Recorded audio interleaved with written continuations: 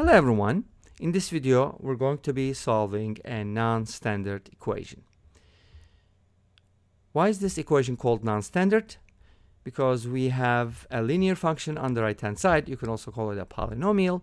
And on the left-hand side, we have the logarithmic function. So they're different kinds. So you can solve this problem by analytical methods. Okay, you can approximate the solution by using different methods, numerical methods but we're going to be using algebra a little, and a little bit of calculus maybe if you allow me to do that and then solve this problem. All right, let's go ahead and take a look. There's a couple different ways to approach this problem and at the end I'm going to show you a graph. All right, cool. So let's go ahead and use the definition of logarithms. This is the base and that is the exponent. So this can be written as 2 to the power 3 minus x equals x. That's what's cool about logarithms. You can turn them into exponentials, and exponentials can be turned into logarithms. So by definition, we get this equality. Let's go ahead and write the 2 to the power 3 minus x as 2 to the power 3 divided by 2 to the power x, and that should equal x. Maybe by this time you already guessed the solution. That's perfectly fine. But I want to show you, I want to bring you closer to the solution so when you're guessing, it's actually going to be very obvious. Okay, and I know this is also simple, but I just want to show the general method. So, from here, what am I getting? Let's write 2 to the third as 8. And then let's do the following. I kind of want to multiply both sides by 2 x. Let's go ahead and cross multiply first. Allow me to do that. So that's going to give me x times 2 to the x equals 8. Maybe you've seen similar equations like this one and I believe I've done a couple problems like this before. Anyway, so here's what I'm trying to do. I want to actually instead of cross multiplying this is what I'd like to do. A fact that comes from cross multiplication since the product of these two things equals 8 I can switch them. So this can be written as 8 over x equals 2 to the power x. Now why did I do that? Let me tell you first. I wanted to isolate the expression with the exponent of x. So it's on the right hand side. And then I'll do something to get rid of that exponent. And then I'm going to have a nice expression on the left hand side and then I'll make it even nicer. So let's see how that goes. Uh, I really like this process. So let's go ahead and raise both sides to the power 1 over x. Noticing that x cannot be 0 because if x is 0 then we don't have an equation or they're not equal. So x equals 0 is not a solution, in other words. These two cancel out, leaving us with something nice. But like I said earlier, I'd like to make it nicer. Okay, this is what I have. And one of the things, uh, one of the reasons why this is nice is because we were able to put all the variables on one side and a number on the other side. Make sense? So it's kind of like f of x equals 2. Make sense? So I have a function on the left-hand side in terms of x. Cool, cool. But this is not good enough. It's not nice enough. So here's what I'm going to do. My base is 8 over x. So my exponent is 1 over x. Mm, they are different. I don't like it. Why not make them the same? Can we? Absolutely. If my exponent becomes 8 over x, I'll be happier. And I believe you're going to be happier too. So here's what, how we can do it. Very easy, algebraically. That's why algebra is so cool. Raise both sides to the eighth power and boom, you're done. Isn't that great? So now 1 over x will be multiplied by 8 and this is going to give you 8 over x to the power 8 over x equals 2 to the power 8 which is 256. Great. Maybe it's not so great but well it's not super bad. Now here's what I'm going to do.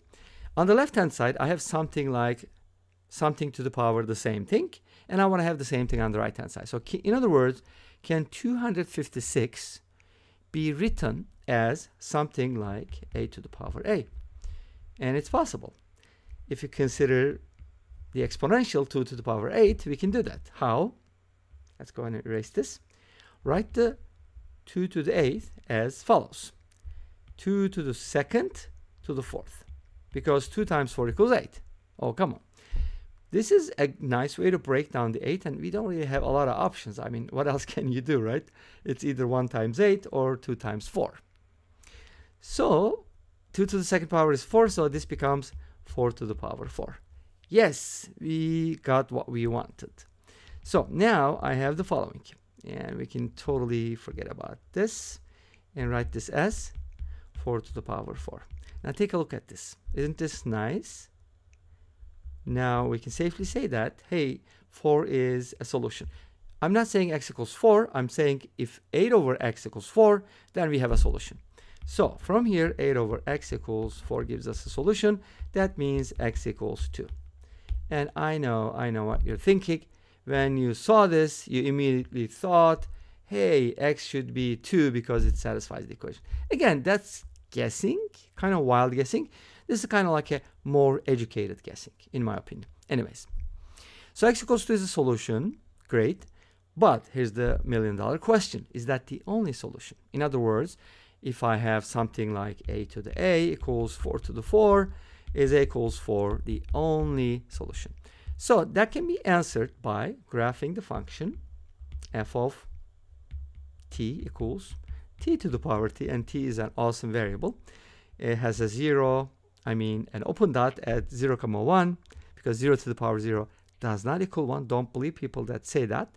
And then it kind of curves down and curves up like this. And obviously, it's going to have 1 comma 1 on the graph because it satisfies the equation and then it's just going to go on forever so when you consider when you consider 4 to the power 4 so what f of t equals 256 what is the t value there's a single value because if you think about the the f of t value being that large you're basically thinking about a horizontal line that goes like this and it's going to intersect the graph at a single point. Make sense? Our function is, in other words, increasing on this interval, and I believe that is 1 over e, I think. Yeah. So 1 over e to infinity, our function is increasing, therefore it has one solution. So x equals 2 is the only solution. Isn't that great? Yes. Is there another way to look at this problem? Absolutely. Let's go ahead and take a look. Did I say uh, I'm going to show you a graph at the end? If I didn't, then I said it. So we could also look at the problem differently. Log x with base 2 equals 3 minus x and 2 to the power 3 minus x equals x. Now take a look at this. You didn't have to complicate things. Oh, come on, why did you do this to us, right? It's a waste of time. I could do this in 10 seconds. Okay, that's not the point. I'm kind of trying to illustrate different approaches. Like it or not. So now, here's the thing. We have a decreasing function. Why? Because its exponent has negative x or it is like uh, 8 over 2 to the x. It's decreasing. And this is increasing. It's a linear function with a positive slope. So they have to intersect at a single point, test some values. You're going to notice. And of course, you can also talk about x needs to be greater than this, less than that, so on and so forth. Obviously, x is positive because this is always positive. Make sense? You could also look at it this way. f of x equals log x with base 2 is also increasing. And g of x, 3 minus x, is always decreasing. And they will have a single intersection point. And here's the graph, and we'll finish up. Yay, these two functions graph at a single point, and that's going to happen at x equals 2. And this brings us to the end of this video. Thank you for watching. I hope you enjoyed. Please let me know. Don't forget to comment, like, and subscribe. I'll see you next time with another video. Until then, be safe, take care, and bye-bye.